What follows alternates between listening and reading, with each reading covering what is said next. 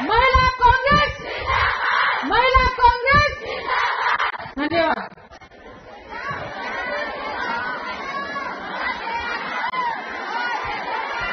मेहरबानी करके मैं बैठी जाओ। प्लीज़ मैं बैठी जाओ। बैठी जाओ। बैठी जाओ बैठी जाओ। चारों मध्य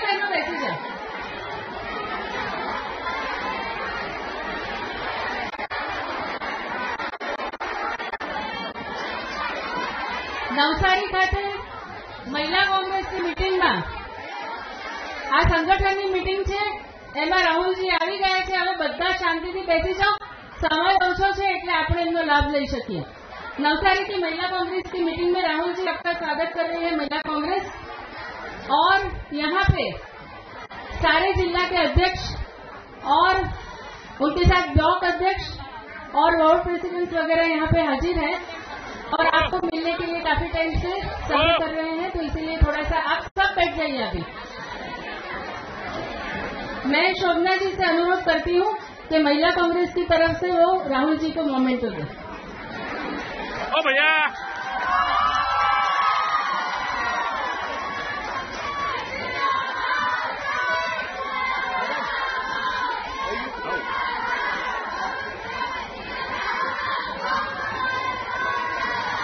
passenger brother, please.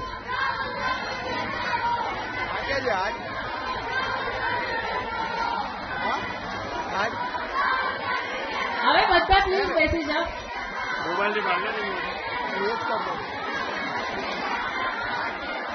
હવે આગળ આપણા ઓલ ઇન્ડિયા કોંગ્રેસના મહિલા કોંગ્રેસના પ્રમુખ સુષ્મિતાજીને હું અનુરોધ કરું છું કે પ્રોગ્રામનું સંચાલન કરે અને વાત કરું.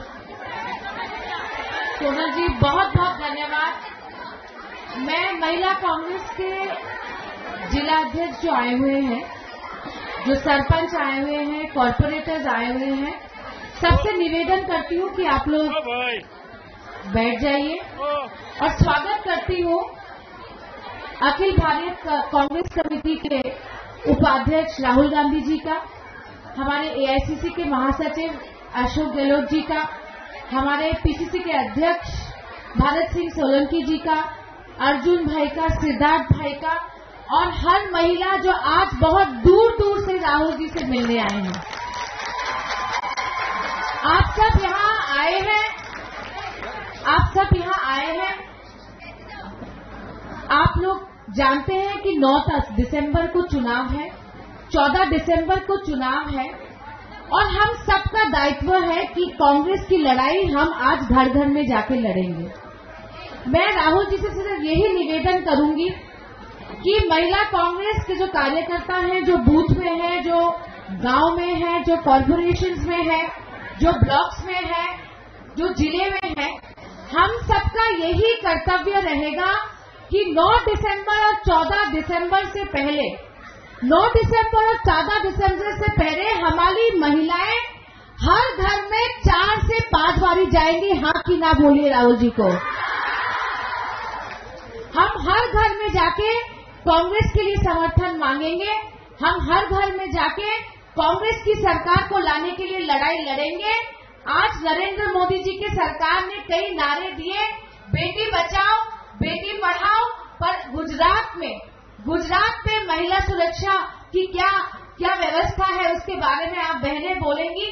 आज हायर एजुकेशन में, उच्च शिक्षा में महिलाओं की क्या परिस्थिति है, हम आपसे सुनेंगे। पर मेरा विनम्र निवेदन है आप सबसे कि वक्त बहुत कम है, वक्त बहुत कम है और बहुत लोग इधर भी राहुल जी के इंतज़ार में है। इसके बाद भी दो और सभाएँ हैं। अपने आप को आप लोग संक्षिप्त में बोलिएगा, पर मैं सोचती हूँ कि भारत सिंह सोलंकी जी जो हमारे बीच में है और उनके नेतृत्व में, सिद्धार्थ जी के नेतृत्व में, सबके नेतृत्व में हम खेल रहे हैं, ये चुनाव वक्त कम है, पर फिर भी मैं भरत जी को बोलूँगी, आप दो शब्द सिर्फ़ महिला कांग्रेस का उत्साह बढ़ाने के लिए बोलिए और उनको टॉकिंग पॉइंट्स के बारे में बोलिए।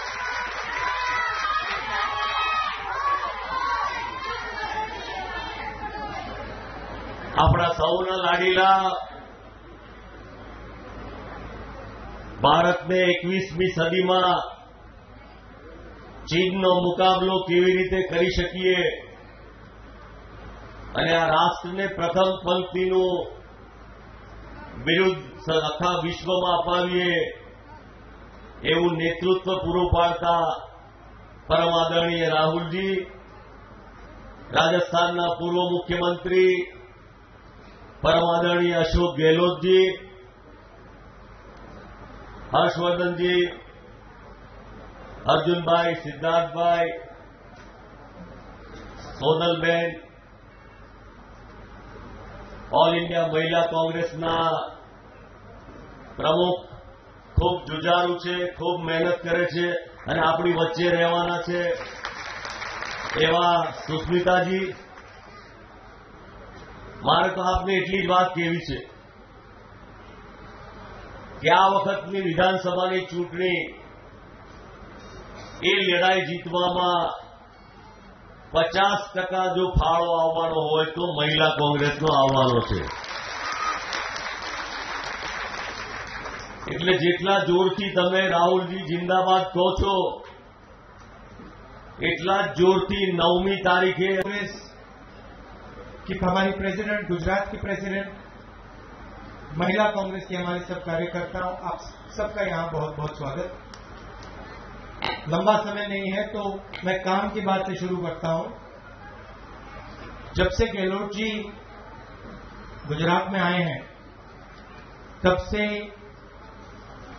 कांग्रेस पार्टी इफेक्टिवली बीजेपी के खिलाफ लड़ रही है। आप इस बात को मानती हैं? तो गहलोत जी, आप मुझे बताइए, आपने बीजेपी पे प्रेशर डाल दिया तो आप मुझे बताइए, और सोलंकी जी, आप मुझे बताइए कि गुजरात के चुनाव में महिलाओं को कितने टिकट मिलेंगे? सीधा यहाँ पे क्लियर कर दिया जाए कि ये जो हमारी रीढ़ की हड्डी है जो हर घर में जाएगी।